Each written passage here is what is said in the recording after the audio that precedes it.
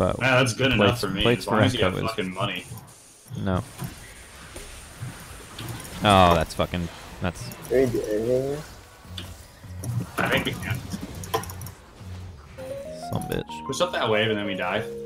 Yep.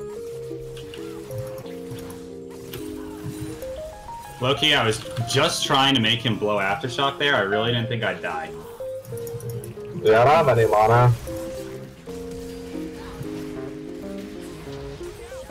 I really, really didn't think I'd die there.